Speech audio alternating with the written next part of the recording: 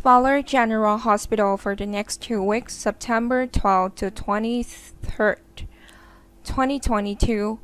It is anticipated that GS member will face many challenges in the near future.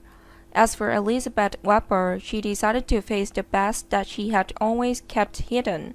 However, Kevin Collins is a psychiatrist and he will always be there to support Liz when she needs it.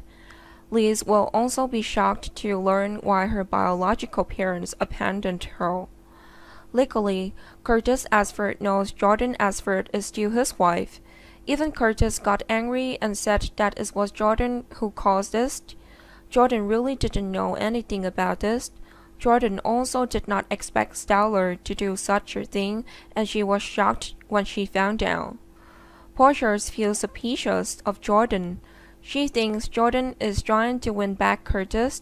Because Portia and Jordan's there may be a few confrontation in the near future.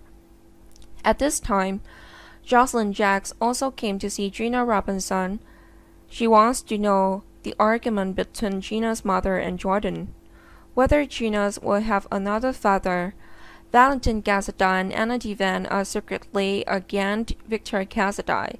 However, with the help of Robert Scorpio, Anna quickly found Charlotte Cassadine. This can make Valentin completely dependent on her. Valentin wants to break free from his father Griff. However, he needs to save his daughter and now. Anna can do it for Valentin. Lucy calls to Joyce to help Anna investigate the clues from Victor's side.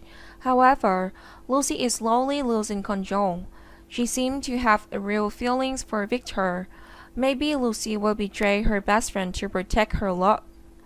Alexis Davis and Gregory Chase were walking when they discovered Randall Corbin attacked in an alley. They speculated that it was possible that the attacker Ava and Randall were the same person.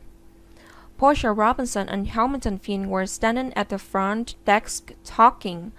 They were exchanging medical records of a sentenced patient when suddenly an ambulance arrived. Finn has to go to the emergency room immediately. It seems that the person is Randall Corbin. He is ser seriously injured. Sonny Corinthos went crazy when he heard that Randall was injured. He immediately went to find Victor Cassadine. The anger in Sonny was relieved. He grabbed Victor by the collar and asked if Victor was the one who did this. Victor even got a punch in the face. Because he was so worried about Ava and Randall, Sonny was also afraid that someone would be attacked again and he is now too agitated. Cody begins to suspect Mac Scorpio. He talks to Felicia Scorpio.